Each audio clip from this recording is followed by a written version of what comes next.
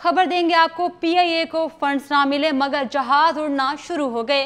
PIA ने अपने जराये से फ्यूल का बंदोबस्त करके ऑपरेशन शुरू कर दिया।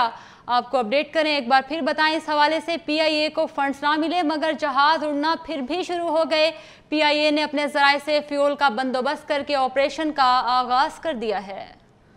आपको बताएँ पीआईए को फंड्स जारी ना हुए, मगर जहाज़ उड़ना शुरू हो चुके हैं। मजीद तफसीत जान लेते हैं अपने नुमाइंदे सदाम मांगट से। जी सदाम, आगाह कीजिएगा इस हवाले से।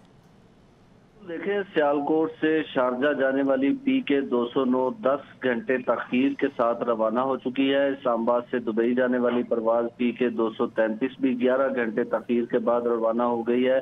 मुल्तान से शारजा जाने वाली पी के दो सौ तिरानवे भी 12 घंटे तखीर के साथ रवाना हुई है। कराची से इस्लामाबाद आने वाली फ़्लाइट पी के तीन सौ जो है वो तीन घंटे तखीर के साथ रवाना हुई है। लाहौर से कराची जाने वाली परवाजें पी के तीन सौ सात तेरह घंटे बाद रवाना हो सकी है। पी आई ए को अभी तक फंड्स तो नहीं मिले हैं, मगर पी आई ए के जहाज़ जो है वो उड़ना शुरू हो चुके हैं। पी आई ए ने अपने जराये से फ्यूल की बंदोबस्त करके ऑपरेशन जो है वो दोबारा से शुरू कर दिया है। जी।